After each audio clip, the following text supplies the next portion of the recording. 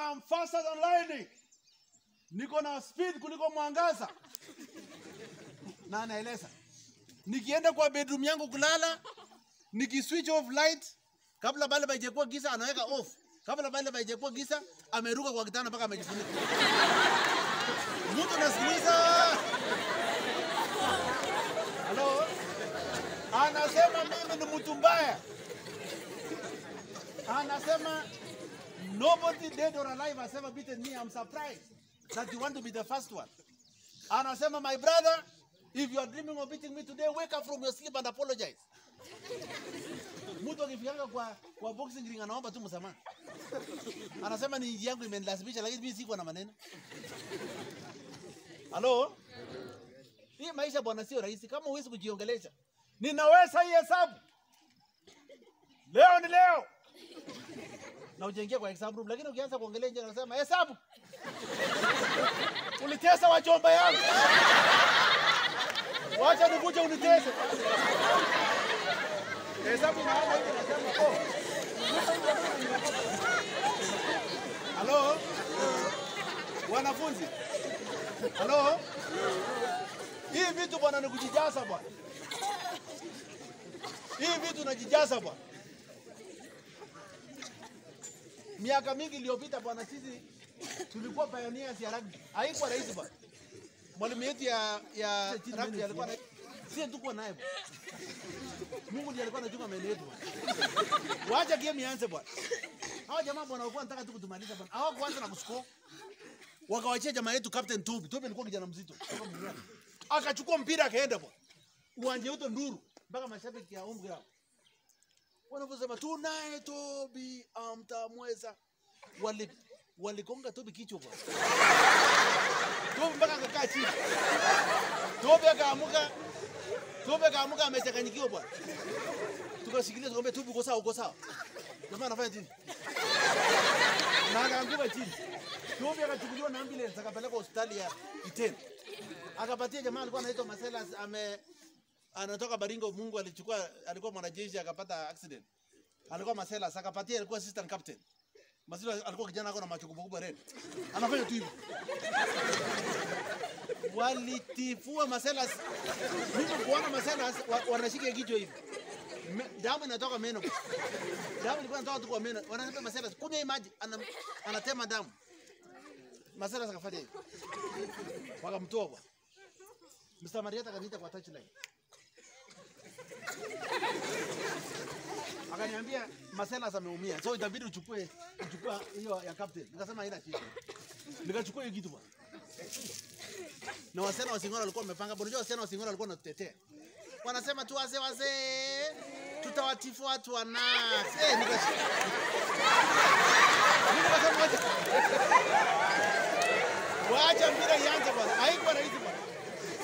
Wakafika free We. Mimi bwana nikashika mpira bwana. Unajua wa madada bwana walikimbia bwana mzuri bwana mpaka mimi nikasema kweli kwa kwa heshima hii ya wasichana ya kaptenda na Singora alikuwa amekaa hapo anatuimbia vizuri. Wanasema na senti musilale. Ilikuwa nyimbo mzuri bwana. Mimi nikaamua nichukue mpira, nikaamua niende naye mpaka mwisho. Ile mpira nilitoka na hiyo mpira. Nilikuwa nimetoboa. Nimekuja kutoka huko bwana, karibu tu nifike kwa touchline kama kwa hii nini. Chama kingine bwana alikuwa anakuja hivi akanichukulia hapo. Na badala hata niangushe tu kwa heshima bwana. Akashika kinyasa yangu akapasua mara mbili.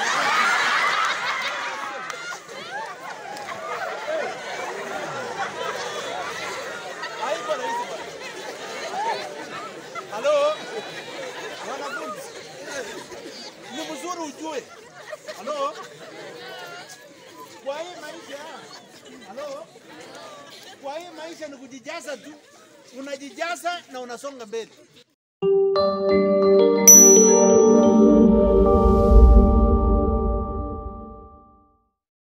Kutumia nafasi vizuri. Nafasi na wakati imepeanwa kwa kila mmoja wetu. Mungu anasema time and chance has been given to all of us irrespective of our families, irrespective of where we come from. But God has given us time and chance to accomplish our dreams. Na hata jioni ya leo Mungu hiyo tu bado anapeana nafasi kwa kila mmoja wetu. Wakati Yesu alifanya huduma yake hapa ulimwenguni, alifika mahali ambaye ilikuwa Yesu asulubishwe, na alipopandishwa kwa e, msalaba, kulikuwa na wezi wengine ambao ilikuwa siku yao ya kusulubishwa pamoja na Yesu. There were two of them. Mmoja alikuwa mkono wa kulia na mwingine alikuwa wa kushoto. Na hata wakati Yesu alikuwa anapanda pale juu akilia kwa sababu ya uchungu, mwisi mmoja akamtazama Yesu na akasema, kweli kabisa, kama wewe ni mwana wa Mungu, kama wewe ni mwana wa Mungu kabisa, jiokoe. Anasema wewe unajitanga wewe ni mwana wa Mungu, mbona hujiwezi kujisaidia hapa sasa hivi? Vile tu watu wengine wanasemanga saa zingine kwa maisha, wanasema kwamba hata sisi tumeteseka tu, kama tumeteseka tu, kuna watu wenye wanaenda pia kwa kanisa. Saa zingine unaweza sikia mtu anaongea anasema, hata mimi hata mimi nimepata grade sawa na mwenye anaendanga shule kila siku. Watu wanataka kutumia mambo ya plural. Yesu wakati hii jamaa alikuwa anaongea, Yesu alimtazama, lakini Yesu hakumjibu. Yaani in short, huyo jamaa alikuwa anasema tunakufa kifo aibu pamoja. Wewe umekuwa mtu mzuri, you have been doing good, lakini leo tunakufa kifo aibu pamoja na wewe. Lakini Yesu hakumjibu. Lakini mwingine mwenye alikuwa upande mwingine, mwizi mwingine tu, they were going to die the same hour. Hello? Hao walikuwa wezi wawili walikuwa wanastahili kukufa vile wamekufa, lakini Yesu mwana wa Mungu hakustahili kukufa. Nyinyi mnasoma CRE mnaelewa what transpired before, hata mpaka ikafika kwamba the high priest akanao mkono yake akasema kwamba sijaona makosa na huyu mwana wa Mungu. Akasema mkitaka kumsulubisha, lakini damu yake isikuwe juu yangu, na akajiondoa. Yesu alikufa kifo ambaye haiko kifo yake. Huyu jamaa ingine jambasi mwingine alipoona nafasi, he realized an opportunity, akatazama Yesu na akasema mwana wa Mungu. Hakuomba amuokoe kwa msalaba saa hiyo, akaona opportunity yenye iko mbele ya eternal life, akasema mwana wa Mungu, ninaomba unikumbuke kwa paradiso. Aliona hii ni opportunity. Huyo jamaa wakati alipandishwa kwa msalaba juu alikuwa jambazi, lakini alipokata roho alikuwa anaingia ufalme wa Mungu na Yesu, kwa sababu he says the moment, alitumia nafasi wake vizuri, akaomba kwamba Yesu, utakapoingia ufalme wa mbinguni usinisahau. Na Yesu akamtazama akasema, leo hii, hakumwambia kesho, akamwambia leo hii utaingia na mimi paradiso. Saa zingine kwa maisha kama wanafunzi tumefika mahali mpaka umeona kwamba I, I was in a school recently in Busia. A boys school in eh, called Bundika Boys. Na one of the candidates of form 4 akanifuata nyuma akaniambia, mkubwa, nataka tuongee na wewe. Umeongea leo umenigusa. Umenigusa mahali sijawahi kugusa for 4 years kwa hii shule. Nikauliza nimegusa wapi? Halo? Nikamwambia jamaa, bwana, nimekugusa wapi? Jamaa akasema umegusa moyo wangu na umedestabilize moyo wangu. Nataka nikuulize swali, is it possible mimi mwenye sijawahi pitisha C plus nipitishe? Nikamwambia inawezekana. Nikamwambia all it takes is you to believe. Akaniomba kwamba kama inawezekana nimwombee. Nikamwambia hata si maombi, wewe tu uamini. Halo? Unajua kuna watu wameamini kuwekelea mkono. Hata Yesu alipokuwa anahubiri siku moja akasikia kwamba mtumishi mmoja amesikia mtoto wake amekufa na akamwambia Yesu, hakuna haja uende kwa boma yangu, lakini neno lako tu, ukituma tu neno. Na Yesu akamtazama akasema, tazama imani ya kiwango hii, na akasema mtoto yako ameamka. Kweli alipofika nyumbani mtoto amefufuka. It takes your faith. Saa zingine vile tunaongea namna hii, hata wanafunzi wetu vile tunaelekea kufanya mtihani wa mwisho wa mwaka, saa hizi wakulima wanavuna, wakulima saa wako na furaha mahindi wanavuna. Jamaa naongelea kwa umbali, nasikia wewe Shela, kuja kuongoa hii vitu bwana, anaongea na sauti. Lakini wakati wakulima walikuwa wanapambana na mambo ya phosphate, mtu alikuwa anaambia watoto ngoja ngoja, hey, phosphate ni 6000 Baba mwenyewe anasema mimi ndio ndoweka phosphate kwa sababu anataka kuweka kidogo hivi, lakini wakati ya kuvuna anavuna akiwa na furaha. Praise the name of the Lord. So kuna mambo ine ambaye lazima ujue kama mwanafunzi. Jambo la kwanza, believe in yourself. It takes you to achieve your dream. inakugharimu wewe mwenyewe, ndoto yako kutimia inagharimu wewe mwenyewe. It takes your own effort. You could be here today and you are wondering. Unafikiria kwamba grade ya A minus na mabibi plus ilitengenezea watoto usijui kutoka sehemu gani? Ah ah. Ni kuamini tu. Haki ticha inawezekana. Inawezekana kwa sababu hata watoto ya matunda SN day school kama sisi. Watoto ya St. Patrick's Makunga Kitale day school kama sisi. Wanatokanga prep saa tatu usiku. Mtoto ya mtu anatoka shule saa tatu usiku Kitale town mahali wakora wamejaa. Anatembea na rungu na vitabu yake. Wewe unatoka hapa saa kumi bila bila rungu na bila vitabu.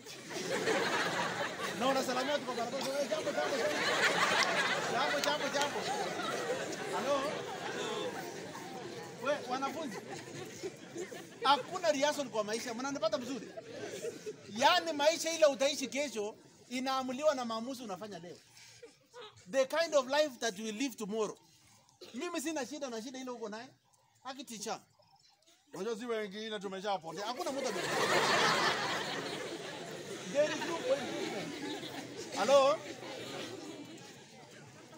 Unasikia mwimbaji mmoja akasema kuwa wajanja kuliko wewe. Unajua hii jimbo? Tulikuwa wajanja kuliko wewe. Ah, wewe nawe unakaa unakaaje bwana? Halo? Tulikuwa wabaya kuliko wewe. Yesu ni Bwana, Tulikunywa pombe kuliko wewe. Yesu ni Bwana, Tulikuwa wajanja kuliko wewe. Yesu ni Bwana, Yaani kumbe kuna majamaa wajanja hata kuliko wewe. Halo? Lakini leo ukiamua kwamba I want to change. Msichana yangu hata leo ukiamua kwamba enough is enough. Unaona hivi na unasema imetosha. Kama ulikuwa umebukiwa na kijana wenyewe, unamuona kwa macho unamwambia unamwambia excuse me, my dream is calling me. Hata kasirika asema najua kuna mtu ameniingilia ni sawa. Lakini utakuwa umesema ukweli. Wasichana. Nilikuwa naona mawaziri leo wakikuwa sorry kwa State House bwana. Ma ladies bwana wamekaa smart, mtu anapita tu hivi. Ana, ana, anafika mahali president ako, anamwambia president hivi. Alafu anaenda kwa chief of staff. Anaenda kuchukua Biblia na hapa. Huyo mama mwenye ameapa hapo si mama, tuko na mama wangapi Kenya kufika kwa hiyo leo shida hii. Watu walijinyima vitu.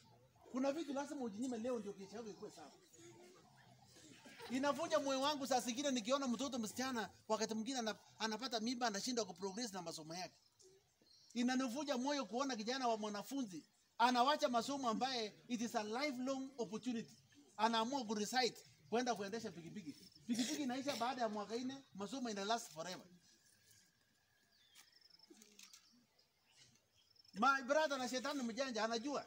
Kwanza ukitoka tu shule Wednesday na upata pikipiki ya sport, anakupea watu. Unapata watu ya kwenda Kajibora unarudi na watu Alafu unarudi, halo? Unarudi kwa nyumba jioni unasema cheki. Nimeenda tu leo na niko na 1500. Na nilitoka hapa mchana, nikienda asubuhi je. Na kesho unaenda inakuwa tamu tamu baada ya siku tatu. Ukishaamua kabisa umewacha shule na customers wanapotea. Unakaa tu stage kuuliza watu. Kila mtu anasema tu namna hii. Halo? Wanafunzi. Nilipata jamaa ingine juzi wakati on Saturday when I was burying my late father. Nilipokuwa tu kwa mazishi ya mzee, nikapata jamaa ingine hapa tukaongea. So mazishi ilikuwa inaishaisha. Na one of the Senate aspirants wa huko anaitwa jamaa anaitwa Marimoi. Akatokezea akasema kwamba anaomba Senate kwa nafasi ya Murkomen. Akaniomba kama naweza kumwombea father kwa sababu father alikuwa anamalizia misa. Kama naweza kumwomba father apate nafasi ya kusalimiana. Na wakati tunaenda namna hii, jamaa mwenye hapo nyuma akanisukuma akaniambia, jamaa amemea ndevu hivyo bwana, akaniambia, akaniambia unajua mimi nilikuwa sahihi. Mimi nikamwambia hata mimi nilikuwa sahihi. Akasema mimi nilikuwa na Murkomen. Eh, nikama nikastuka. Nikamwambia jamaa, bwana classmate yako amekuwa waziri wa roads bwana. Hata wewe enda uambie akupeka kitu, akuogoleka kitu. Akakuna ndevu yake hivi. Halo? Na mimi wakati alikuwa na tu ndevu iliniuma sana, kasema miaka ingine hapo mbele, Mungu saidie mimi, isikuwe kwamba classmates yangu wenye tulikuwa nao kwa form 4 wafanikiwe kwa maisha na mimi nikuje, kufanya hivi.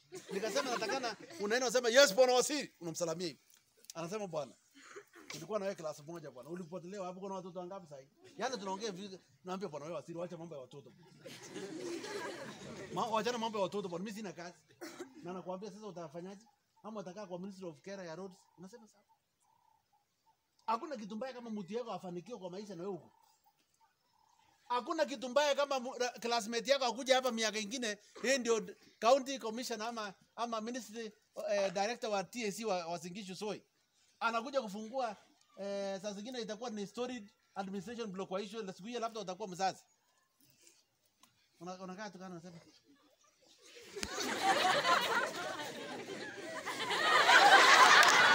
tulisoma na yeye. Alafu hiyo mtu anakuambia, "Atunasema nini?" Unasema tulisoma naye. Hakuna kitu mbaya kama hiyo. Mimi nataka saa ile mtu yako anafanikiwa, wewe pia unafanikiwa kwa line yako. Are we together? Yes. Na haiwezekani kama huwezi kujiamini. Juzi ka, wakati tunakaribia kufunga shule, mwanafunzi mmoja wa St. Paul hapa Mwakongi, eh, shule ya Mwalimu Mr. Biwott ya zamani, kijana ya form 3 alijinyonga tu kwa wakati ya closing day. Na mimi nasemanga wanafunzi, a problem shared is half solved. Hakuna mtu ana shida kwa hii Kenya, lakini shida yako inategemea mahali uko kwa maisha. Hata sasa ukiuliza uh, President Ruto shida, hako na shida mingi hata kuliko wewe. Vile atataramusha unga, bei ya uchumi na nini, mafuta imekuwa ngumu, rasha wamekaa ngumu. Hako na kila mtu ako shida. Hakuna mtu mwenye kama ume, hakuna shida kwa hii maisha, wewe mwenye hana shida ni mtu mwenye amekufa. Lakini watu wote wenye wako hai wako na shida. Watu wote wenye wanaishi wako na challenge. Lakini tunasema kwamba hii challenges haijakuja kutuua. It, it has come to take us to another place. Ni, mimi nasema wa, wanafunzi wenye wako kwa shule wako na shida na karo. Shida ya kutokuwa na karo inatakana ikuchochee ndio watoto wako wakuje waishi maisha mzuri kuliko yenye wewe umeishi. Mheshimiwa Senata Murkomen alipokuwa St. Patrick's kwao ni kwa hii milima hii ya Kapcherop huku kwa hii ma, wa, watu ya Sengwet. Alikuwa anatembea hii milima yote mpaka Iten, St. Patrick's kwa mguu.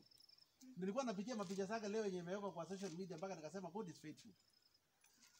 Amefunga belt hata imepitana na long akiwa form akiwa form 2. Ungeona mapicha zake za form 2, ungejua hata haikuwa waziri.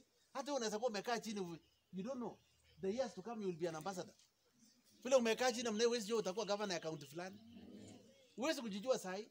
Lakini ndio nasema kwamba ndoto yenye iko ndani yako inagharimu wewe kuchochea itimie. Hakuna mtu atakuja kusaidia ku actualize your dream. Believe in yourself. Believe in your dream. Believe in your school. I like what Muhammad Ali used to, used to say. Kama kuna game ngumu kwa hii maisha ni game ya eh, hii game inaitwa boxing. Boxing mtu anaanza kuongea kutoka kwa ile gate. Unajua boxing wanaruhusu mtu uongee ndio utishe mwenzako. Unasikia anakuja akisalamia mashabiki. Unasikia jamaa anaongea anasema today I've come to kill somebody. Nasikia bibi yake na watoto wanaongea katikati ya watu kill daddy kill. Yaani kama unakuwa na watu wake unasema Hello? Jamaa anaongea vitu hapo bwana. Huyu jamaa anaitwa Muhammad Ali alikuwa alikuwa anatishia watu bwana. Alikuwa anaongea mpaka mwenye alikuwa opponent yake anatoroka. Anasema whoever came here to find me today think twice. Na unajua saa ile anaongea kwa stage. Opponent yake ako kwa room ndio wakimaliza huyu akimaliza kutishana wanafungulia ule mlango pia kuja tishana ndio game ianze. watch vile mtu yako anasema. Anasema I'm faster than lightning. Niko na speed kuliko mwangaza. Na anaeleza. Nikienda kwa bedroom yangu kulala, nikiswitch off light kabla bale haijakuwa giza anaweka off. Kabla bale haijakuwa giza ameruka kwa kitanda mpaka amejifunika. Mtu nasikiliza, Hello? Anasema mimi ni mtu mbaya. Anasema nobody dead or alive has ever beaten me. I'm surprised that you want to be the first one. Anasema my brother, if you are dreaming of beating me today, wake up from your sleep and apologize. Mtu akifikanga kwa kwa boxing ring anaomba tu msamaha. Anasema ni njia yangu imenilazimisha lakini mimi sikuwa na maneno. Halo? Hii maisha bwana sio rahisi kama huwezi kujiongelesha. Ninaweza hii hesabu. Leo ni leo. Na ujengea kwa exam room lakini ukianza kuongelea nje unasema hesabu. Ulitesa wajomba yangu. Wacha nikuje unitese. Hesabu inaanza hivi nasema oh. Halo? Wanafunzi? Halo? Hii vitu bwana ni kujijaza bwana. Hii vitu najijaza bwana. Miaka mingi iliyopita bwana, sisi tulikuwa pioneers ya rugby. Haikuwa rahisi bwana. Mwalimu yetu ya, ya rugby alikuwa anaitwa bwana Mr. Mariati, mwalimu wa Kiswahili. Akasema boys, rugby si game rahisi, lakini kila mtu ako na ruhusa ya kujaribu. Akarusha hiyo mpira kwa form 4, form 4 akataa. Form 4 akasema hatuna time. Wakachukua mpira form 4 akapeleka form 3. Form 3 wakaona jamaa mwingine anasimama akasema "Eh, hii kitu ni kuumizana. Form 3 wakaogopa. Wakaleta class yetu ya form 2. Unajua form 2 alikuwa wazuri wanajaribu kila kitu. Na jamaa mwingine alikuwa anaitwa topic kutoka Mumias akasema tujaribu hii kitu. So tukaenda tulipoenda PE tukaenda kujaribu na tukaform school team. Haikuwa rahisi.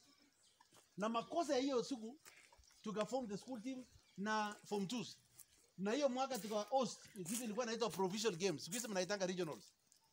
Miaka yetu ilikuwa kuanzia Turkana mpaka umalizie Masaini. Ilikuwa inaitwa provincial games. Provincial games tulikuwa tuna host na kwa sababu sisi ndio host tunacheza na Nakuru Boys High School ambao ndio reigning champions wa rugby, si mwaka moja, 15 years consecutive Rift Valley eh, rugby champions walikuwa wanapambananga na St Mary's Yala. We, haikuwa rahisi. Topic Garden ndio alikuwa mtu anaelewa, na jamaa anaitwa Ochieng. Ochieng anasema nikutifuana. We, wacha bwana, tuende kwa uwanja bwana. Unajua ilikuwa game ya asubuhi ya saa mbili ya kufungua ya kufungua mambo ya provincial games. Mkubwa ya mambo ya michezo provincial commission alikuwa akashika mpira ya rugby akaenda. Alikuwa mzee amekomaa. Na akasema akasema let the games begin na akaswaga hiyo mpira. Na wakapiga filimbi wakasema St. Patrick's 10 versus Nakuru Boys High School. Uwanja wote kanyamaza. Wananchi walikuwa wamejaa. Na kwa sababu ni shule yetu tulikuwa tunajaza. Na unajua siku ya tuko na boots. Watu ya huko walikuwa wameenda boots huko sijui menenga huko na guru. Sasa tulifanya tu sports shoes wengine wakatembea pe- pevute. Eh. Huyo jamaa tobe akasema wewe wewe wazee sai sai sai tukashikana hivi. Akatuongelesha akasema wazee nikutifuana. Eh, Roho yangu ilikuwa inapiga tu hivyo. Akasema hii kitu nikutifuana. We, hatukuwa tumeona wachezaji na Guru High School. Wewe wewe we. Walikuwa kama walipo bwana. Walikuwa jamaa wazito. Macho ni red red wote na manywele walikuwa wamefanya fanya hivi. Hey! Kwanza walikuja kwa style walikuwa wanatuingiza uoga. Hawakuja kwa uwanja direct wakasunguka uwanja nao na pendele yao. Pendele kama mungiki hivi. Wanazunguka mpaka huko. Walipoingia kwa uwanja. Jamaa mwingine tu anasema hivi. Aka- Akainua kiatu hivi buti iko na iko na maskuru chini na, akasema wewe Brahma eluku ujaosha kiatu iko na damu. Yule jamaa akasema si nilikanyaga huyo boy wana wa Njoro. akam yani ilikuwa ni kutishana akasema ako aje sai. Akasema ni kama amekufa. hey, mimi nikaambia nikaambia mwalimu wa rugby bwana, waje niingie second half. Mwalimu akasema nimeshapanga timu, usinisumbua kichwa. Hey, wajamaa waja waenda kando bwana, wasema silence for Nakuru Boys High School National Anthem. Walikuwa mpaka na anthem siku hiyo bwana. Wakasema sisi ni Rafyans, sijui nini ma ni mama yangu. Wa! Hey, Wali- walisema vitu nyatuelewa bwana. Kwa hu hu hu hu. Sijui nyonga, shika, ua. eh. Wacha mpira ianze bwana. Kabla mpira ijaanza, jamaa wengine wanafanya tu kuomba vitu. Mtu anakipepa kwa ile kona anarudi. Jamaa wengine anakuja hapo, mimi nilikuwa mimi nilikuwa nacheza kwa touchline. Nilikuwa nimefunga kitu kwa kichwa ndio waseme mimi ni mbaya. Hey, haiko-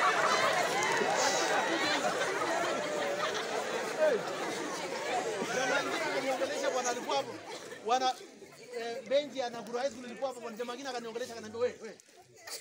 Nikaenda. Akasema chungana hao jamaa, akaniambia chungana namba hii sijui namba ngapi. Akasema hao jamaa wanafuta bangi.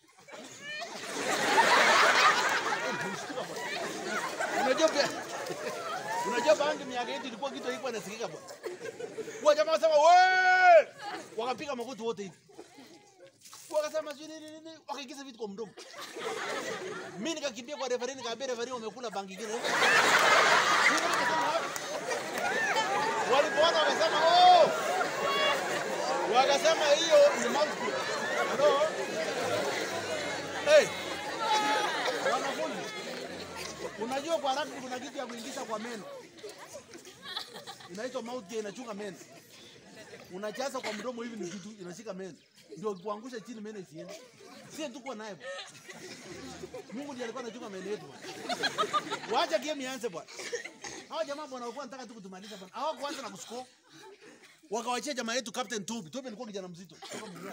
Akachukua mpira akaenda bwana.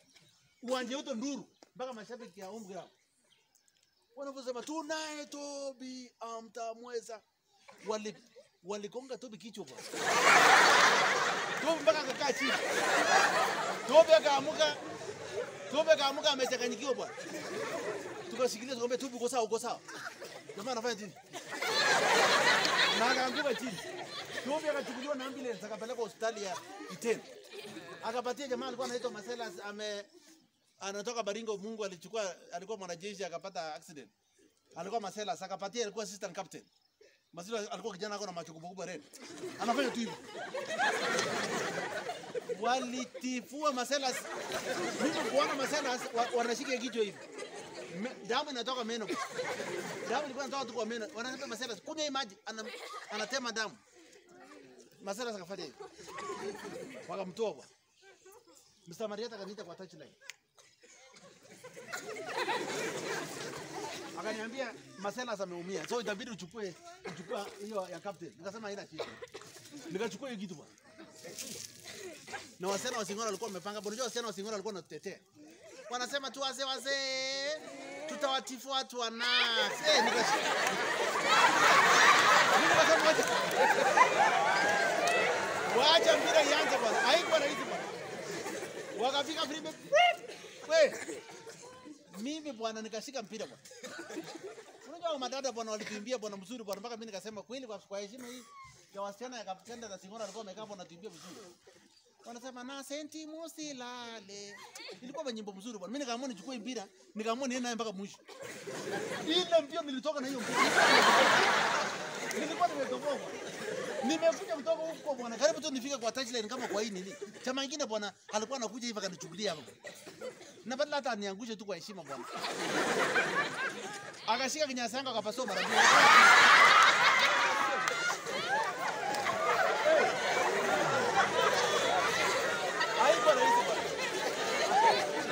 Halo? Wanafunzi. Ni mzuri ujue. Halo? Kwa hii maisha, halo, kwa hii maisha ni kujijaza tu, unajijaza na unasonga mbele, unajiamini na unaenda mbele.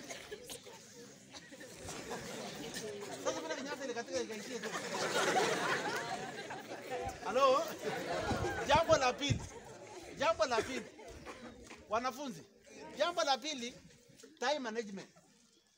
Tumeongea maneno, tutaendelea kuongea kama huwezi linda wakati. If you are not able to, to manage your time, form 4, form 3. Hapana ngoja mpaka uingie form 4 hadi ndio uanze kuwa serious. Sasa ukienda mashule zingine, wacha niwaambie mandugu zangu. Watu wanalima mafuta mpaka 1:30 usiku. Na sio mwalimu amesimamia watu. Mtu tu anaona kwamba kazi yako naye ni kubwa. Na muda ni kidogo. Mtu anasoma mpaka 1:30 usiku. Saa hizi ukifika kwa hizi mashule kama yenye mimi nilisoma zamani, tulikuwa tunaamkanga, kuna wajamaa walikuwa wanajua sisi ni watu ya extension. Mtu anaenda kwa doma anavaa anavaa bafin kwa kichwa. Anashika file. Unajua hao jamani wa extension, wanalima mpaka saa nane. Mtu anakuja kulala, wewe unashangaa kwa notes board. Ever. Class teacher akirelease matokeo, kuna wajamaa walikuwa wanabaki tu hapa. Unakuja kama umeinama kuona results yako. Na kuna mtu anakuja tu straight.